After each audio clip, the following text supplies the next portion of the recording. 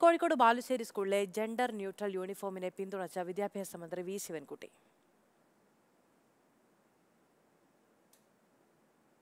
ആൺകുട്ടികളും പെൺകുട്ടികളും എന്നുള്ള വ്യത്യാസമില്ലാതെ സ്കൂൾ നടത്തുന്നതുമൊക്കെ ഗവൺമെന്റ് ആ കാര്യങ്ങൾക്കെതിരല്ല. അവിടുത്തെ പാരന്റ് ടീച്ചേഴ്സ് അസോസിയേഷനും തദ്ദേശ സ്വയംഭരണ സ്ഥാപനങ്ങളും രക്ഷാകർത്താക്കളും എല്ലാം തീരുമാനിച്ച് ഗവൺമെന്റിന് സമർപ്പിക്കേണ്ടതാണ്. അതിന്റെ അടിസ്ഥാനത്തിൽ ഗവൺമെന്റ് ആവശ്യമായ തീരുമാനം എടുത്ത് കൊടുക്കും. പൊതുവിൽ പിന്നെ ഈ ലിംഗ വ്യത്യാസമില്ലാതെ ഉള്ള ഒരു വിദ്യാഭ്യാസത്തിനാണ് ഗവൺമെന്റ് ആഗ്രഹിക്കുന്നത്.